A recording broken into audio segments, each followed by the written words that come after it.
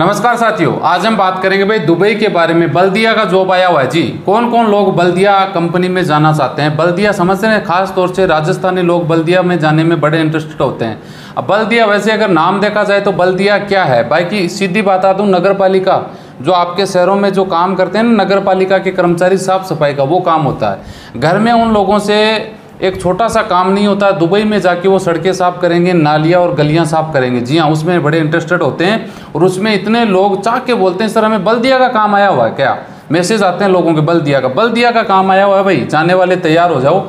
आप पूरा पहले तो वीडियो देखिए, उसके बाद कमेंट नीचे करिए।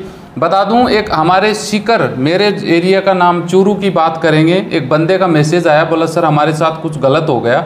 मैं बोला, क्या हुआ भाई? बोला, एक हमारे, अभी तो मैं नाम वगैरह इस वीडियो में तो ओपन नहीं करूँगा, क्या पता उनका समझौता हो जाए? अगर समझौता नहीं होता है और आप लोग मेरे से कॉन्टेक्ट करते हैं तो मैं ज़रूर इस पर एक्शन हम लेंगे आगे भी और डिटेल से, क्योंकि मेरे पास एविडेंस तो सब है। लेकिन ऐसे किसी का पहचान ओपन करना थोड़ा अच्छा नहीं लगता, ठीक है जी? तो आज हम बात करेंगे कि बल्दिया कंपनी का जॉब आया हुआ है। सैलरी पता है कितनी है? सोलह सौ दराम। ड्यूटी कितनी है? आठ, पाँच घंटे। दिन में पाँच घंटे काम करना है। सोलह सौ दराम सैलरी है। दिन में सप्ते में पाँच दिन आपको काम करना है। बंदा वाह यार बल्ले बल्ले, ठीक है, कोई दिक्कत ही नहीं, हम आराम से कर लेंगे। साफ़ सफ़ाई का काम घर में तो नहीं होता, वहाँ कर लेंगे। बत्तीस हज़ार, सोलह सौ दराम का मतलब बत्तीस हज़ार तनख्वाह हो जाती है। अब जी, हम ठीक है, आपके पास काम आया, हम विश्वास कैसे करें? बोले जी, बोलिए, क्या सबूत चाहिए? हम, मैं पैसा अस्सी हज़ार रुपये लूँगा आपसे पर कैंडिडेट से। अखबार में एड लगवा देते हैं, पच्चीस, तीस, पचास बंदे इकट्ठे हो जाते हैं।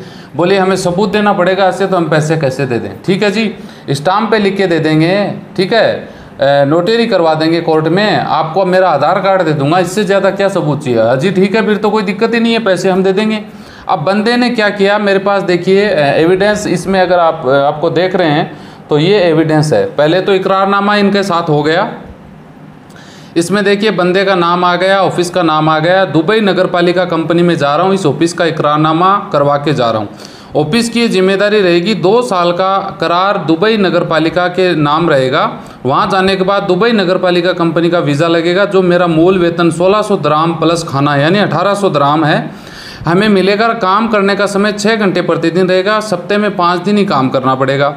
अगर ये कार्य हमें वहाँ नहीं मिलता है तो इस टूर के माध्यम से जो एजेंसी है, ऑफ़िस है, उसके माध्यम जो हमने भुगतान अस्सी हज़ार रुपये का करके जा रहे हैं, वो हमें ये ऑफ़िस वापस कर देगी। जी हाँ ऑफ़िस की तरफ़ से ये गारंटी नहीं है कि कंपनी में हमें जाने के बाद ओवर टाइम मिलेगा। यानी वो बोल रहा है कि ओवर टाइम की कोई ज़िम्मेदारी नहीं है। मैं जो कार्य करने में, कंपनी में जा रहा हूँ, अगर मैं वह कार्य करने में विफल होता हूँ तो इसकी मेरी ज़िम्मेदारी खुद की रहेगी। यानी जाने वाले बंदे से ये एक अग्रीमेंट करवाया गया है। ठीक है जी? ये तो हो गया बंदे का। अब एजेंट का अग्रीमेंट आप देख सकते हैं। एजेंट का एजेंट का इसमें अग्रीमेंट है भाई। ऑफ़िस का इसमें नाम दिया गया है। नगर पालिका में भेज रहा हूँ। ऑफ़िस का इकरारनामा करा के। जी हाँ। और ऑफ़िस की ये ज़िम्मेदारी रहेगी कि दो साल का वर्क परमिट वीज़ा नगर पालिका के साथ रहेगा और वहाँ जाने के बाद नगर पालिका कंपनी वीज़ा लगा के देगी। यानी ये ऑफ़र ये जो स्टाम्प है ना, ये भाई सौ रुपये के स्टाम्प पे लिखा गया है। समझ गए बात को? सौ रुपये के स्टाम्प पे। बंदे के साइन हो गए, सब कुछ हो गया, समझ रहे प्रथम पक्ष, द्वितीय पक्ष, सब कुछ आ गया इसमें। ये दो सबूत हो गए। ये सबको, तीसरा सबूत है भाई, आधार कार्ड दिया गया कि ये हमारा आधार कार्ड है और फिर बंदे को विश्वास हो ही जाता है यार। साइन, ये आप देख सकते हैं इसमें, ये एक फॉर्म भरवाया गया कि भाई आपका कौन सी जॉब में जा रहे हैं, नाम आपका क्या है फादर नेम क्या है, पासपोर्ट नंबर क्या है, आप कहाँ के रहने वाले हैं? मतलब इस तरह से पूरा एकदम तैयार किया रख यानी काम पूरा पूरा जेनविन करवाया गया। लेकिन होना क्या था भाई? यहीं तक सीमित रह गया ये। पैंतीस बंदों से अस्सी अस्सी हज़ार रुपये लेके बंदा फुर हो गया। अब आप सोचिए, बंदा भाग गया। अब मैंने बंदे ने बोला, सर, हमारे साथ ये हो गया, मैं तो गरीब आदमी हूँ, मेरे पास तो पाँच सौ रुपये आपकी फ़ीस देने का पैसा तो नहीं है। और मैं तो आपके पास मिलने भी नहीं आ सकता, मेरे पास तो किराया नहीं है। तो मैंने बोला, भाई, सब लोग इकट्ठे होकर मुझे एक वीडियो बना के डालो।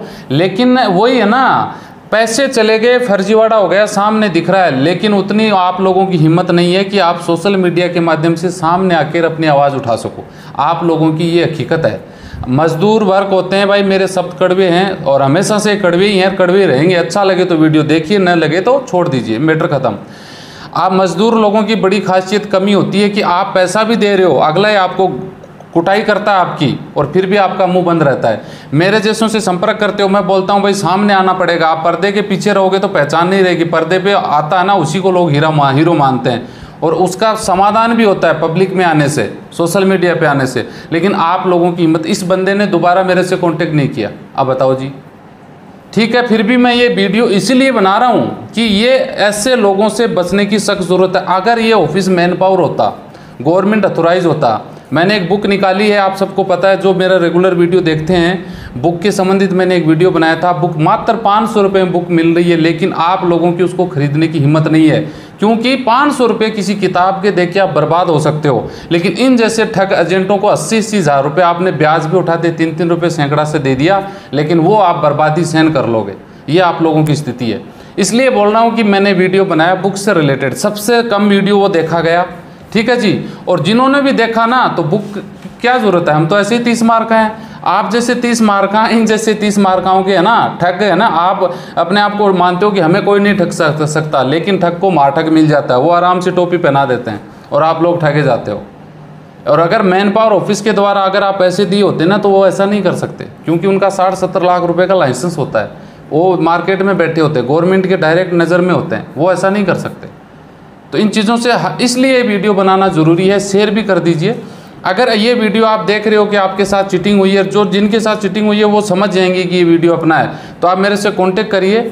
इसके ऊपर हम आगे कोई आपके जो भी मेरी हेल्प होगी, मैं करने की कोशिश करूँगा, ताकि ये पैसे आपके वापस मिल जाएँ। जी हाँ। बस ये अपडेट आप लोगों के साथ शेयर करना था। साथ ही वीडियो अच्छा लगे तो लाइक शेयर करिए। मिलते हैं नेक्स्ट वीडियो में अच्छी जानकारी के साथ। जय हिंद।